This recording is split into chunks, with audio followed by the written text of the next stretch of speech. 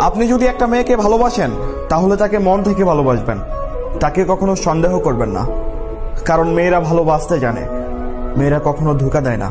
আর এই পৃথিবীর মধ্যে মেয়েদের চাইতে বেশি কেউ কখনো ভালোবাসতে পারে না কাউকে। আর তার প্রমাণ হচ্ছে আমাদের মা। যারা যারা মাকে ভালোবাসেন, এই ভিডিওটা একটু শেয়ার করবেন।